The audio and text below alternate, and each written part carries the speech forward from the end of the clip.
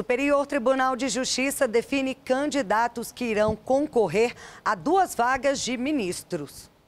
Em sessão realizada pelo Pleno do Superior Tribunal de Justiça, foram escolhidos os nomes dos desembargadores federais e membros do Ministério Público que irão concorrer aos cargos de ministros do STJ nas vagas decorrentes das aposentadorias das ministras Laurita Vaz e a Suzete Magalhães.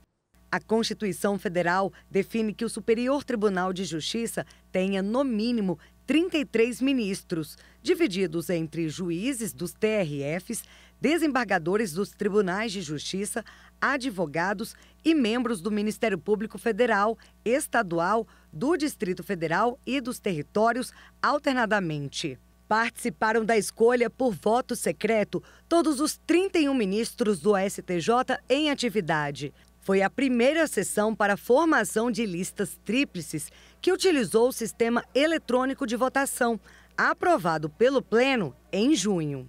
Para disputar a vaga destinada aos desembargadores dos tribunais regionais federais, foram escolhidos Carlos Augusto Pires Brandão, TRF1, Daniele Maranhão Costa, TRF1, Marisa Ferreira dos Santos, TRF3.